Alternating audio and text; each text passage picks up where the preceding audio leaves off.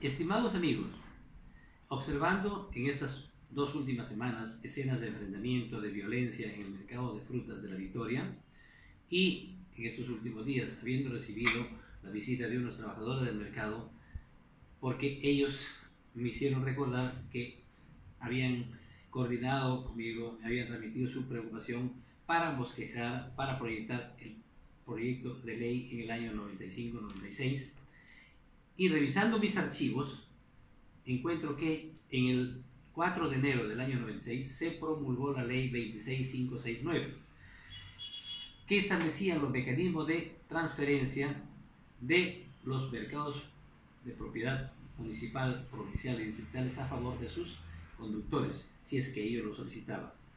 La ley 26569 establece concretamente, y permítanme leerlo, que dice en su primer artículo, la privatización de los mercados públicos de propiedad de los municipios provinciales y distritales, inclusive aquellos transferidos o afectados en favor de las cajas municipales de crédito y otras entidades, conlleva bajo sanción de nulidad que la enajenación o transferencia bajo cualquier título de los puestos y demás establecimientos y servicios de dichos mercados deberá considerarse en primera oferta a los actuales conductores de los mismos que soliciten esta transferencia.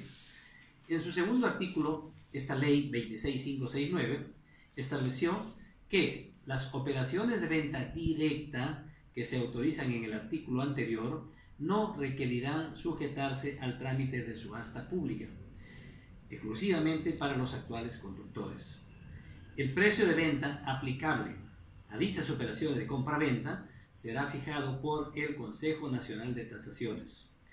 Dicho precio podrá ser pagado al contado o al crédito y pagadero en 60 meses y considerando los intereses respectivos. Y en los otros artículos 2 ya establece que la ley entrará en vigencia a partir del día siguiente y que deja en vigencia cualquier ley o norma que se oponga a lo establecido en esos dos primeros artículos. Para ello, justamente, salió esta ley y los, los conductores de esos mercados, muchos mercados se privatizaron a nivel nacional, y para ello solicitaban los conductores al municipio. Y tengo entendido, según me explicaban esos señores trabajadores, también lo hicieron la solicitud al municipio de ese entonces y las autoridades nunca quisieron atenderlo.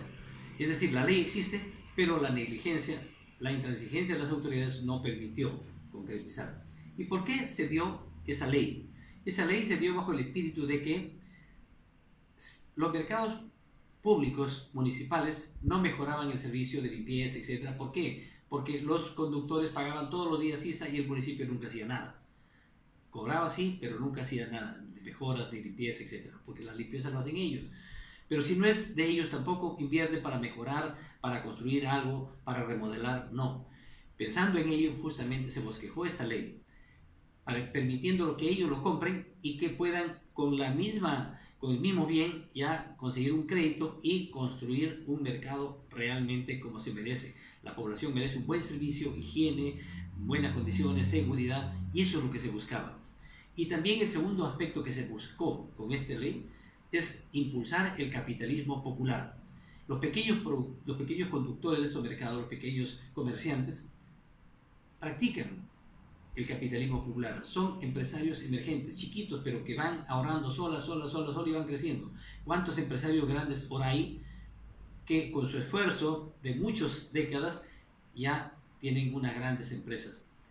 porque esa es la característica típica de nuestros peruanos, de nuestros migrantes, que con su esfuerzo y con su trabajo van ahorrando y van avanzando. Ese era el otro espíritu. Y el otro también, hay que ser sincero, que el otro aspecto que conllevaba ello era más o menos proteger a esos trabajadores de los mercados que venían 30, 40, 50 años trabajando en esos mercados y que ya había más o menos una corriente de que algunos grupos económicos querían comprar esos lugares estratégicos para establecer unos grandes centros comerciales. Para tratar de ver que ellos se vayan en otros sitios, que hay terrenos que compren, y estos no se les podía despojar de sus puestos de trabajo a esa gente humilde. Por todo ello, se bosquejó esta ley, se coordinó con el Congreso, con la, el visto bueno del señor presidente de la República de ese entonces, y se promulgó la ley. Es decir, se trabajó de forma coordinada porque lo que se quería era paz. Y aparte un tema también, ya el país había comenzado a, ya estaba pacificado el año 96 y la, la, economía comenzó a emerger, a crecer y lógicamente los intereses comenzaron también a moverse. También quisiera tocar en este lo que le iba a pasar al mercado de productores Santanita. Con mucho esfuerzo ese mercado, ellos hicieron empresa, construyeron su cerco, construyeron sus puestitos que estaban recién el año, el año 91, 92 y estaban a punto de rematarlo por un crédito pequeño relativamente. Pero ya estaban listos el comprador y el vendedor, el rematador, mejor dicho, que era el acreedor de ese el dueño de ese préstamo que le habían otorgado a los conductores del mercado de productores Santanita. Pero ¿cuál es el fondo? El fondo era de querer llevarse esa propiedad y votarlos a ellos. Pero por fin, por decisión política del señor presidente de la República y quien les habla, coordinando con ellos, realmente se eh, consiguió darle mayores facilidades para que puedan preservar su puesto de trabajo y que ahora es el mercado más importante del Perú donde prácticamente se fijan los precios de los productos en el país. Miren, con su esfuerzo, ¿cuánto han construido el mercado de productores Santanita? Y brindan un buen servicio y han desarrollado. Eso es el espíritu del capitalismo popular que hay que impulsar. Los pequeños productores, los pequeños carpinteros, los pequeños comerciantes, los pequeños agricultores, sí pueden hacer empresa, pero crecerán poco a poco y eso es el verdadero capitalismo popular y el capitalismo debe ser para los grandes, para los pequeños y para los medianos y en este caso los pequeños. El Estado tiene que entregar, entrar a protegerlos y parte del Estado son los municipios. Por eso estoy seguro que el señor alcalde de la Victoria ¿no? reflexionará y verá que eso hay que dar ese paso ¿Para qué? Para mejorar realmente el mercado de frutas, se modernice totalmente, pero a favor de sus actuales conductores. Muchas gracias amigos, no más violencia, el país no merece estar viviendo todos, nos respetamos, nuestra policía hay que respetarlo y no exponerla para que se puedan estar enfrentando entre programas. Muchas gracias.